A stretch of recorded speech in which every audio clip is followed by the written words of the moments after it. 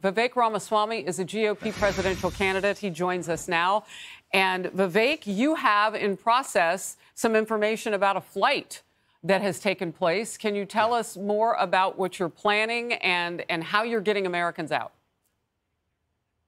Absolutely, Harris. I believe in putting my money where my mouth is. And our family's foundation was proud to support some of the efforts organized by Congressman Cory Mills to get Americans safely out of Israel. So we were proud to support chartering a flight with over 200 seats on it that actually left Tel Aviv and by way of Cyprus, then bringing Americans safe passage home on that journey. And so we were proud to partner with Cory Mills and his team.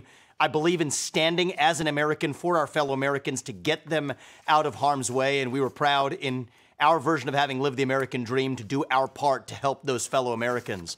That flight took off from Tel Aviv on Monday morning, and I'm proud to have supported those efforts. Well, and I have some details on it. I know you don't have the manifest, um, but there were at least 200 seats on that flight, so that's quite a few people. Yep. Um, how did you make this happen? Because part of the challenge on the ground with people that I've talked with is that they're asked to drive um, from Jerusalem or Tel Aviv to Haifa to get on a boat to go to Cyprus, and they don't know where they'll go after that. Now, look, it's fantastic just to get out. Yeah. And I think you also, in this flight, if I'm understanding correctly, they're flying to Cyprus. But the government has been woefully slow.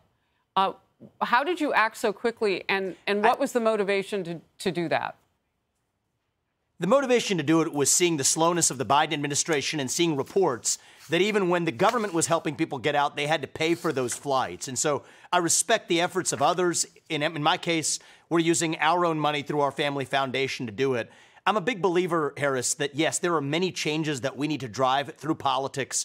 That's why I'm running for U.S. president. But I don't want to wait until then to drive mm-hmm. change that we can be having with a positive impact today. And that's part of the spirit I want to set as an example for everybody.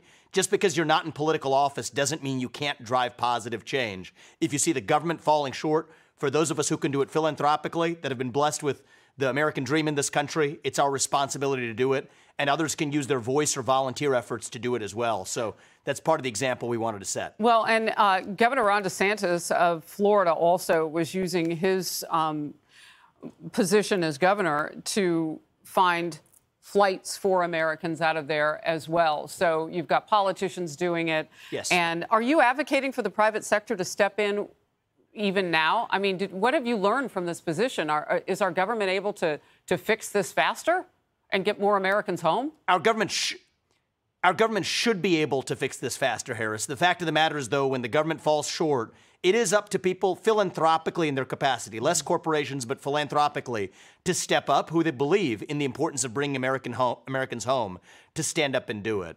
For me, the America First agenda means no American left behind. That includes every American.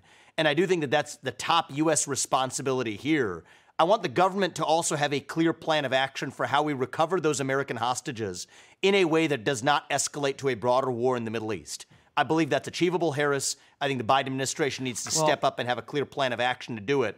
And in the meantime, we're making our difference here I, privately. I want to hear more about how you think that's achievable because everybody is trying to strategize around that one point to keep those hostages from many countries alive right now. You and I will get into foreign policy. You've said a lot of things. Uh, in public that people want to know more about from you. And we'll get into that. We'll see each other soon uh, in a different broadcast. But good to see you today, and I thank you for joining us as we've had a lot of breaking news this hour. Outnumbered is after the break. I'm Steve Doocy. I'm Brian Kilmeade. And I'm Ainsley Earhardt. And click here to subscribe to the Fox News YouTube page to catch our hottest interviews and most compelling analysis.